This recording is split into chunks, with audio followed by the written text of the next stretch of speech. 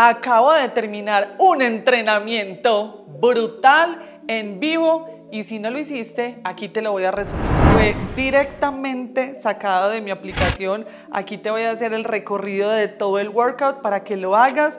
Fue cuerpo entero unilateral y comenzamos obviamente con un calentamiento, un poco de movilidad para tren superior, tren inferior, activando un poco todo el cuerpo para prepararnos para el primer circuito que fue de tren inferior.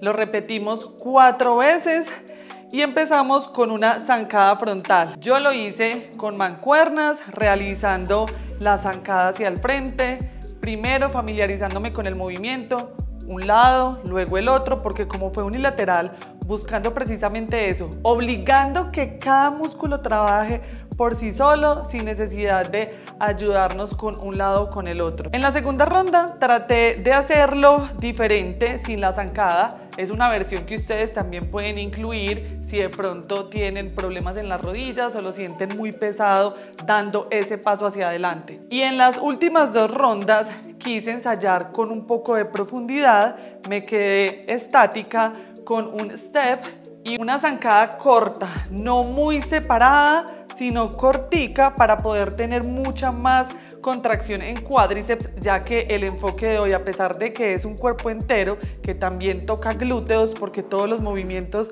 verticales con carga vertical toca glúteos, hoy quería que el enfoque fuera más en cuádriceps, ya que en este programa los días anteriores hemos dado mucho enfoque a glúteos y hombros. Ok, para el side to side, Hicimos primero con mancuernas o pesas rusas, me las cargué aquí en los hombros.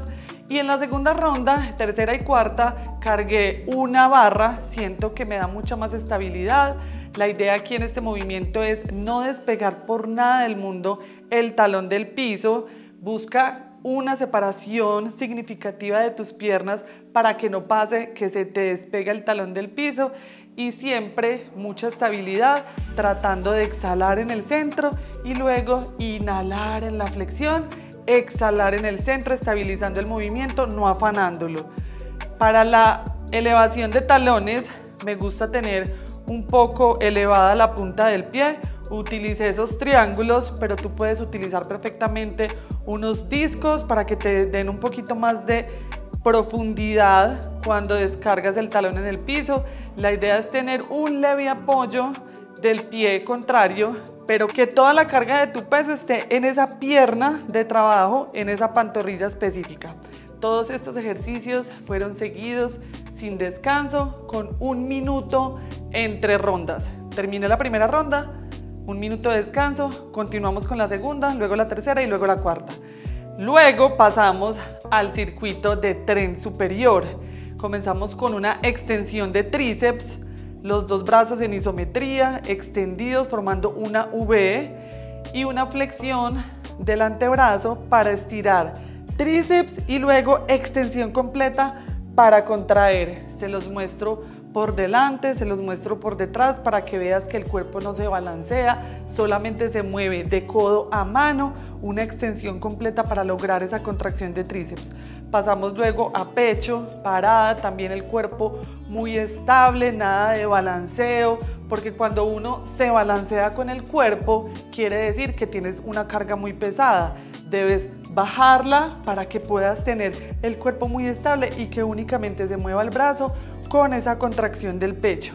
Y para terminar, nos hicimos un remito de espalda brutal, mucha estabilidad con una banca para mantener esa espalda súper neutra, la cabeza y la espalda alineadas, evitar ese balanceo que puede ocurrir cuando no tenemos ese apoyo. Y aparte de eso, nos eleva la conciencia y nos damos cuenta, a ver, estoy incluso sosteniéndome con la banca, balanceando el cuerpo, impulsándome. Quiere decir que tengo una carga muy pesada. Vamos a permitir que la mancuerna baje para que se estire la espalda y con el movimiento del remo, no solamente de brazos, sino de espalda, contraemos arriba. Obviamente me gusta como exigirles un poquito, entonces agregué un entrenamiento de abdomen al final que lo puedes ver aquí en la I, te lo dejé para que lo hagas como final de un entrenamiento o si lo quieres hacer como tu único entrenamiento, te recomiendo que hagas unas tres series, cuatro series. Y terminamos, obviamente, con un estiramiento, una vuelta a la calma para ayudarle a esos músculos a recuperarse bien delicioso. Recuerden que cuando hacemos fuerza, ese entrenamiento de fuerza, los músculos quedan muy apretaditos, comprimidos y con el estiramiento le ayudamos un poquito al cuerpo a que se relaje y que el dolor del día después no sea tan intenso, los músculos se van a recuperar más rápido. Estoy pendiente de mis redes sociales porque les estaré anunciando cuándo es el próximo live la otra semana para que estés súper conectada y entrenemos juntas con mucha conciencia, concentración y amor por nuestro cuerpo. Les mando un besito muy grande y nos vemos en el próximo videito. ¡Chao!